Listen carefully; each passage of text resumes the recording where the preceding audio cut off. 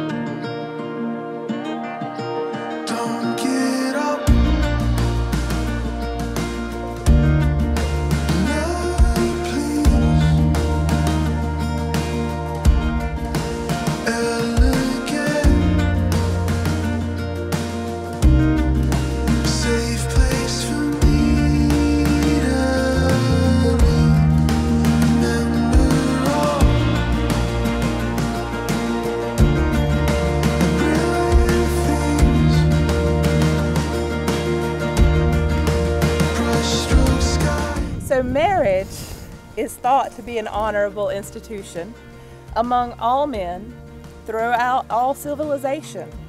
Therefore, is not to be entered into unadvisedly, lightly, but reverently, discreetly, after serious consideration. So, into this union, Caitlin and Parker now come to be joined. From this day forward, they're going to redefine their family. They're going to create a new life together. And it's more than a celebration of that love which lives inside their hearts. It reaches into the future.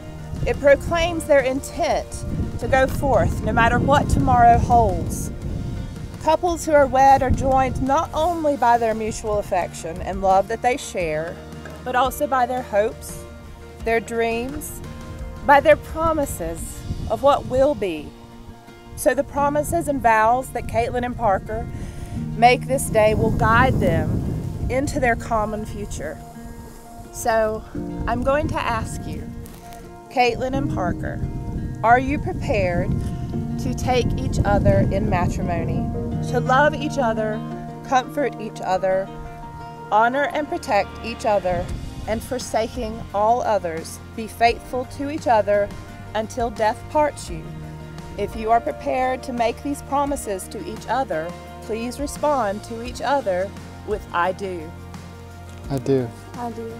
Therefore, it is my joyful responsibility to officially pronounce you husband and wife, and you may now kiss your bride.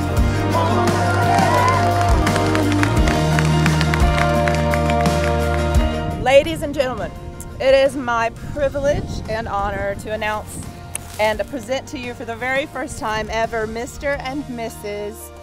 Mackey.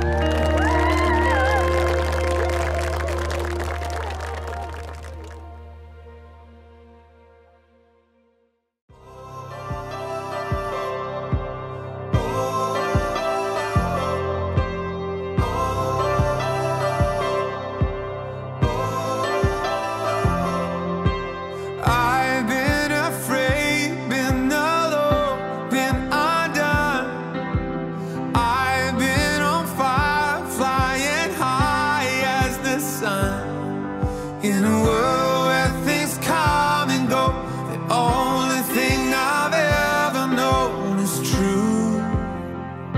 Oh, is you. I've been the prince I